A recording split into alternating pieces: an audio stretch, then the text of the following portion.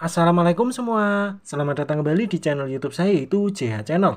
Oke, pada kesempatan kali ini saya masih akan membahas seputaran YouTube teman-teman di HP Android. Nah, di sini akan saya bahas yaitu bagaimana sih cara menonaktifkan ataupun mengaktifkan notifikasi rekomendasi video yang kadang muncul di HP kita teman-teman.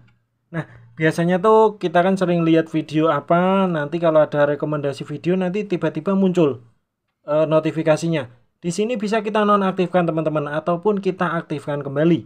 Caranya gimana? Teman-teman masuk dulu ke YouTube-nya. Nah, setelah masuk ke YouTube, perhatikan di sebelah kanan atas teman-teman ada gambar profil, teman-teman klik. Nah, nanti muncul seperti ini. Teman-teman scroll cari setelan. Nah, nanti muncul lagi seperti ini.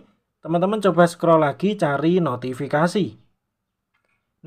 Di sini teman-teman bisa dicari rekomendasi video ini ya teman-teman ya. Nah untuk menonaktifkan teman-teman tinggal dinonaktifkan seperti ini. Oke.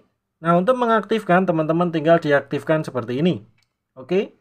Mungkin sekian dulu trik dari saya bagaimana cara menonaktifkan ataupun mengaktifkan notifikasi rekomendasi video YouTube. Terima kasih. Wassalamualaikum warahmatullahi wabarakatuh.